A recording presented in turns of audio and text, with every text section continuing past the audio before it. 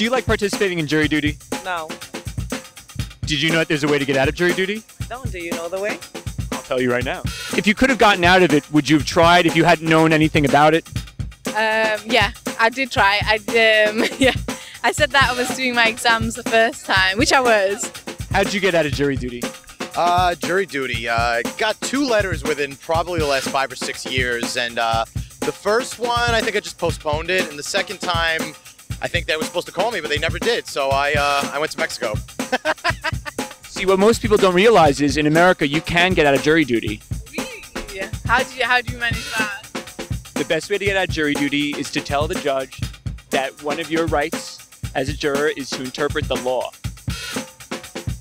Let's just say that if it was something about a guy being arrested for marijuana, and let's just say that you didn't believe in that law, you could say, I don't think he should be arrested, marijuana shouldn't be illegal. And then you could say, based on the fact of this case, I'm going to have to say that he should be free. Oh, well, I think I need to try that. Now I got another way to get out. I was just saying I was sick most of the time. You got the perfect excuse. If you tell a judge when when they're when they're picking you out, if you tell them that you can interpret the law, they're going to be turned off to that. They don't want us interpreting the law.